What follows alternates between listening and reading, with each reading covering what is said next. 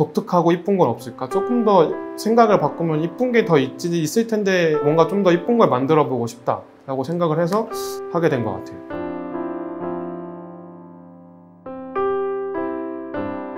악세사리 창업이나 악세사리를 만들어 보고 싶으신 분들이 많은데 정보가 부족하거나 그런 분들도 찾아오셔서 물어보셔서 처음부터 배우시는 것도 좋을 것 같아요.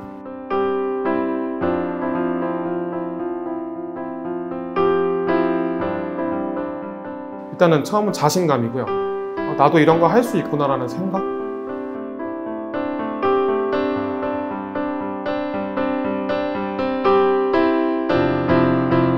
자영업자 하시는 분들이 되게 많이 힘드신데 그럼에도 불구하고 다들 힘내셨으면 좋겠고 색다른 체험들을 많이 해보시고 추억으로 많이 쌓아가시면 쌓아가시면 좋으실 것 같아요.